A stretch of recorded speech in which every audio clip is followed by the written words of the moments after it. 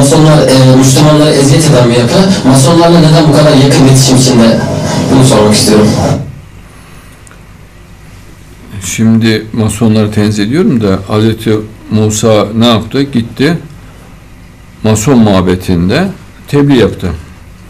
Doğ, e, doğumundan itibaren çocukluğunun geçtiği yer o bölgenin en büyük mason muhabbetidir. Etrafındakiler meşrika azamdı. Yani şu an o kalıntıları incelediğimizde ora kaldığı yerin, oraların dev bir mason muhabbeti olduğunu görüyoruz. E, tebliğ yer nasıl olmuş oluyor? Mason muhabbeti oluyor. Hz. Musa ne yaptı? Gitti mason muhabbetinde tebliğ yaptı. Demek ki Müslümanın yapacağı, yapması gereken bir tavırmış bu. E, Nemrut o devrin meşrika azamıydı. 33 dereceli masondu. Nemrut harabelerine bakın hep masoniktir. Evet.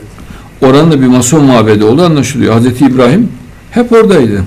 Hep onların içinde tebliğ yaptı. Dolayısıyla Müslümanın e, tebliğ alanı o devrin seçkin insanlarıdır. Sosyetesidir. Kültürlü insanlardır. İster küfür içinde olsun, ister olmasın. Müslümanın e, birinci derecede tebliğ yapacağı insanlar kavmin önde gelen, ileri gelen e, güçlü elemanları, kişileridir.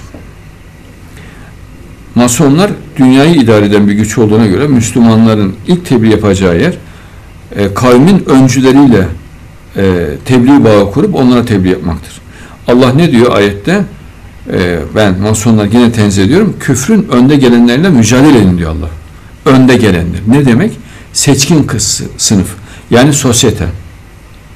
Onlardan Allah'a inanmayan, dine inanmayanlarla ilmi olarak mücadele edin diyor Allah. Ayet defalarca vurguluyor Allah. Evet.